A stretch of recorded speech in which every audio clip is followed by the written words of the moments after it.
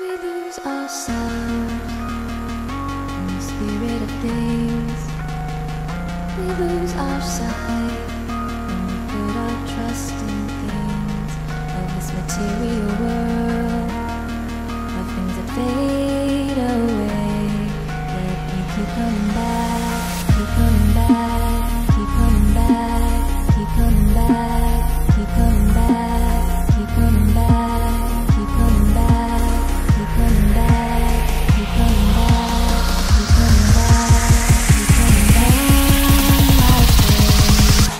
of things we know.